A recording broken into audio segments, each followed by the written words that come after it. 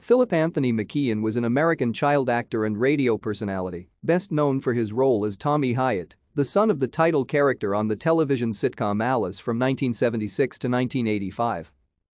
McKeon was born in Westbury, New York, the son of Barbara and Donald McKeon, a travel agent. His younger sister is actress Nancy McKeon. McKeon's professional career began when he was four years old as a print model. His parents took him and Nancy, then age two, to a nearby modeling audition, and he began his career as a child model, appearing in magazines, newspapers, and television commercials. Over the next several years, he landed numerous modeling stints, followed by several parts on stage and in films.